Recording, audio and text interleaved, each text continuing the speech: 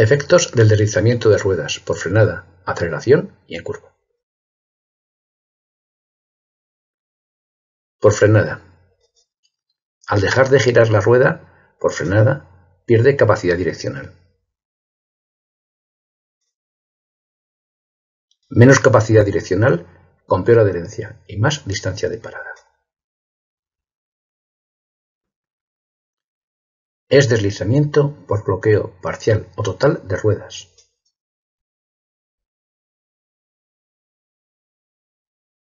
Por aceleración.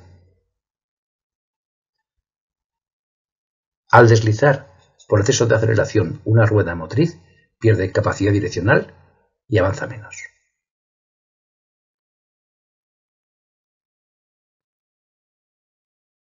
Estos efectos aumentan con menos adherencia.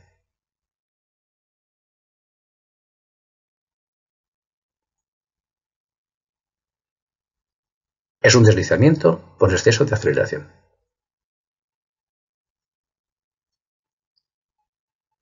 En curva.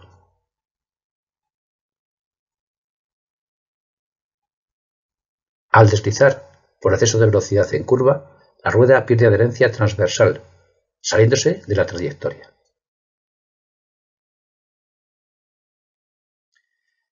El deslizamiento en curva aumenta con menos adherencia.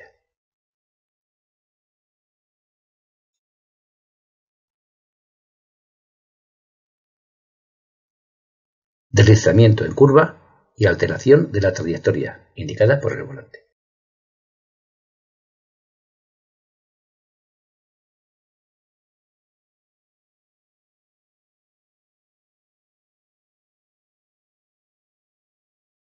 Sistema antibloqueo de frenos. Sin ABS. Frenada a fondo. Bloqueo parcial o total de las ruedas.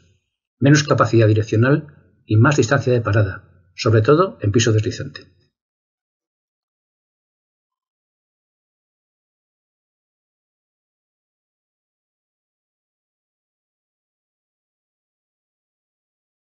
Sistema antibloqueo de frenos ABS. Frenada a fondo con ABS. Mantiene capacidad direccional y menos distancia de parada, sobre todo en piso deslizante.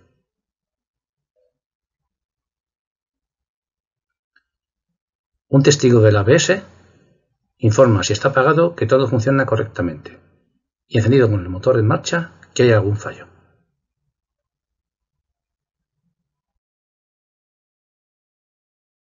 Complementos de seguridad activa derivados del ABS sin regulador de frenada trasera ni ABS. Frenada fuerte. Se bloquean antes las ruedas traseras al disminuir el peso que soportan.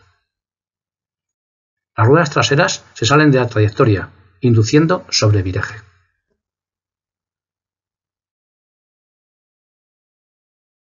Complementos de seguridad activa derivados del ABS, con regulador mecánico de frenada trasera RFT y sin ABS. Frenada fuerte.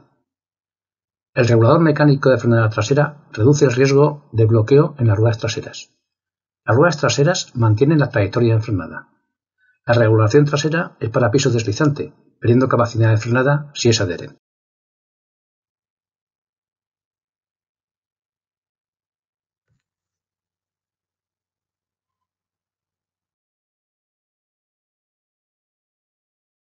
Complementos de seguridad activa derivados del ABS, con ABS y regulador electrónico de frenada trasera, RFTE.